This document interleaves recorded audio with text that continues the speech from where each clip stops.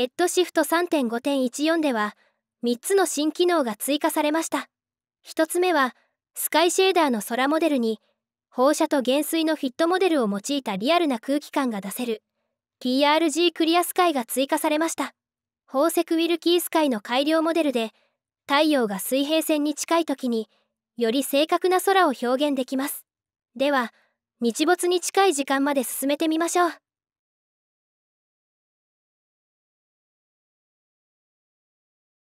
ご覧のように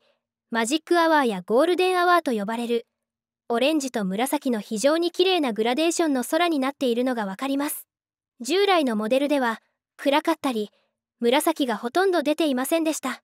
太陽の形もぼやけていますね。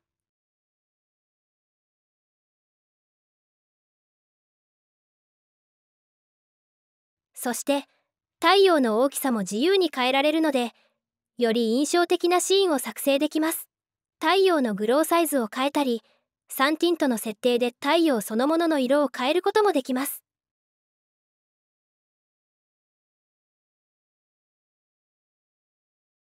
スカイタブのタービリティという空の濁りのパラメーターで水平線で太陽が霞む効果を出せます。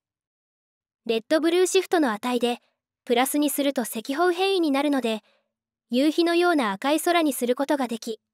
マイナス値にすると正方変異になり朝焼けのような青い空にすることができます。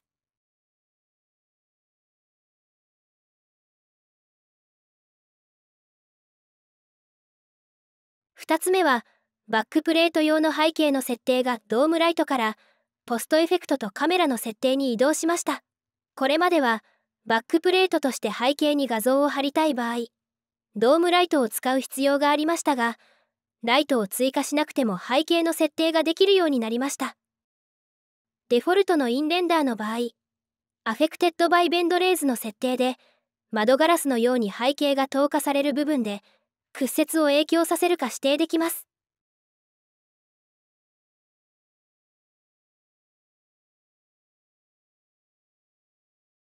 また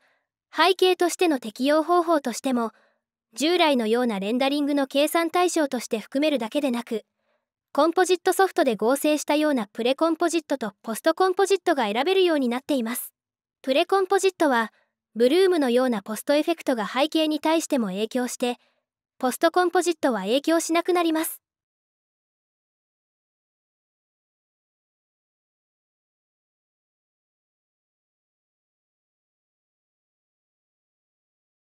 背景は画像だけでなく色を指定することもできます。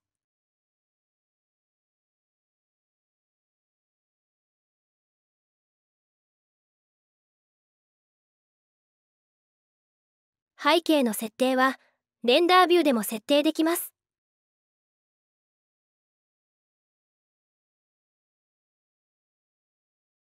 背景画像を割り当てた場合はオフセットさせることもできます。背景画像のガンマや露出。色相サイドも変えられます。背景はカメラごとに設定できるのでカメラを切り替えるだけで背景を切り替えることもできます。3つ目は車などのラメ塗装などに使えるフレークシェーダーです。フレークシェーダーの使い方は簡単で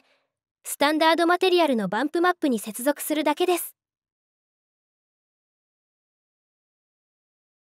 フレークのサイズや密度などを自由に設定することができます。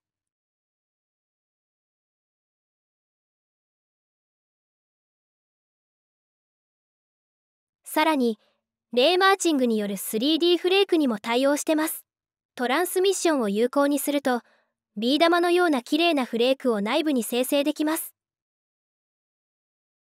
また、 Cinema 4D では、ノードエディターの UI がシェーダーグラフと同じように、属性マネージャーやノードのリストを表示できるようになりました。ユーザーの皆さんの要望から実現しました。このように Redshift は、レンダリング品質とワークフローを改善するアップデートがされていますので、是非最新バージョンをご利用ください。